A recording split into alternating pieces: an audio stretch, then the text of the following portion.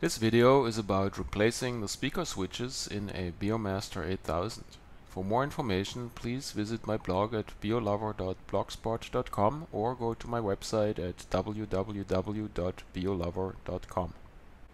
Here you see the original speaker switches in their compartments and you see here that they have these high density board bases that just fit into these compartment slots. You see it here after I, I took them out.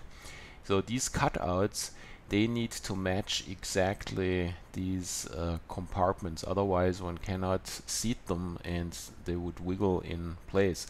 Now there are modern replacements that look fairly similar but since modern technology allows to encapsulate the entire switch they do not put these spaces on there anymore.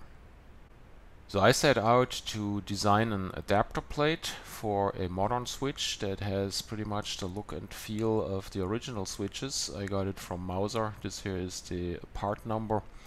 So you can directly order it with this number.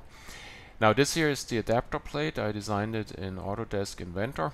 And what you see here is this cutout that fits into the slots of the speaker switch compartments. And these uh, slits they fit PCB board alignment tabs that are on this modern switch. The four holes they permit the contact pins through this plate so one can on the other side solder on the wires. So here you see how the laser cutter cuts out these adapters Okay, time to see how they fit.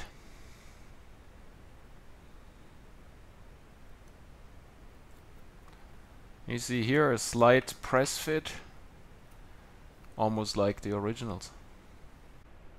Here you see them after I soldered them in, and you can tell how these tabs fit into the compartment slots. This concludes my video about replacing speaker switches in a Beomaster 8000. I posted the inventor IDW file, so if you have access to a laser cutter, please feel free to download this file and reproduce these adapter plates.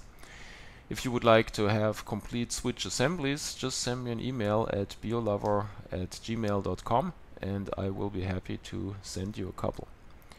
Thanks for watching.